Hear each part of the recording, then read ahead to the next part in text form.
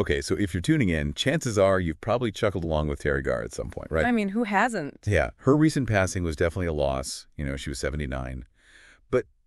Today, we're not here to mourn. No. We're going to celebrate her life, Absolutely. celebrate her career, Mm. and really dive into what made Teri Garr so unique, so iconic.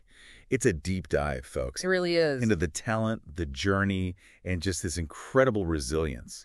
You know, it's interesting because her career really kind of captures this golden age of Hollywood comedy. You're talking like the 70s and 80s. Exactly. Yeah, where it just Yeah. felt like the creativity was boundless. Oh, yeah, it was like a different world back then. Yeah. And her start is like almost too perfect for Hollywood, right?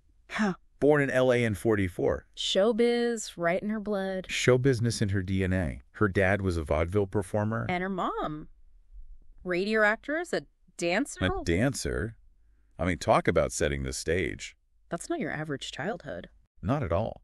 And I think that early dance training is really key to understanding her later comedic brilliance. Right. You don't see it as often today, but there's this physicality. The energy. yeah. It's electric. Think of Young Frankenstein, where she's Inga, the lab assistant. oh, come on. werewolf, uh. there wolf, there castle. Comedic gold. Pure gold. It's not just the lines. It's the delivery. It's the wide-eyed delivery. It's the physical comedy. It's how she contrasts with like the whole tone of the film. It's pure Garr. You know, just adding this layer of like chaotic energy to every scene. and she owns it. She totally does. That kind of quirky, slightly offbeat persona, it's her signature. It really is. It's why she was such a hit on the talk shows, mm-hmm. especially with hosts like, you know, Johnny Carson, David Letterman. Oh, the kings of quick wit. Exactly. They loved her. Because she could keep up. Those appearances were legendary. Yeah, Always ready with a quip.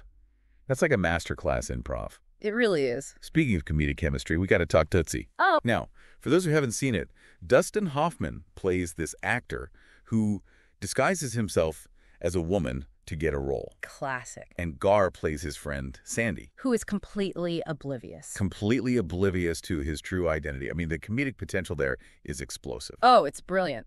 Tootsie was pivotal not just for the Oscar nomination. which she totally deserved. She did, but because of the complexity of the role, this wasn't just, you know, hitting punchlines.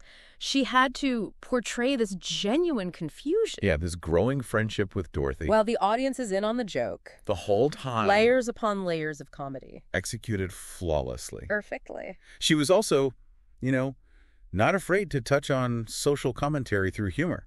Like in Mr. Mom, she plays this wife who goes back to work, her husband stays home. Role reversal. Hilarious, yes, but it reflected, you know, what was happening. The changing dynamics of American families? Yeah, in the 80s. It makes you wonder, though, right? What is it about certain comedic performances that just resonate? You know? Decades later. Why are we still laughing? Why are those moments still so funny? Why do they hold up? Yeah. With Garr, I think it's the warmth. She's funny, but she's never mean. It's never at someone else's expense. Exactly. We always root for her characters. Even when they're creating chaos. Oh, absolutely. But she wasn't just a comedic force, right? Close Encounters of the Third Kind. Oh, come on, Spielberg. A classic. And she holds her own in this dramatic role. It shows her range, Totally. her versatility. It wasn't just about the joke, you know. She understood character, she understood emotion. She could bring that depth even to her comedic roles. Right. And then life, as it often does, throws her a curveball. Yeah. Late 90s, she's diagnosed with MS, multiple sclerosis. It affects the central nervous system. yeah. But true to form, she didn't let it define her. She kept going Kept working, became an advocate, for MS awareness. and wrote about her experiences with wit and honesty. In her memoir, Speed Bumps, Flooring It Through Hollywood. I mean, even the title, right? It's perfect. Humor as a shield. But also a way to connect with others. Absolutely. And there's this quote from Larry King. I love this. She said, If there's something I can't do, I do something I can.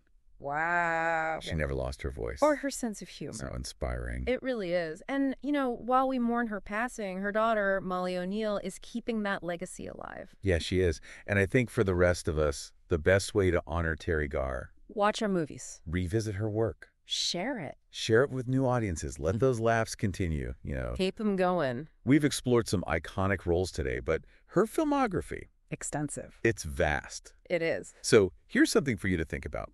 What is it about her comedic style that still resonates today? Why do some performances just stand the test of time? Dive into her work Explore those films, see what answers you find. Yeah, you might surprise yourself. You really might. You really, really might.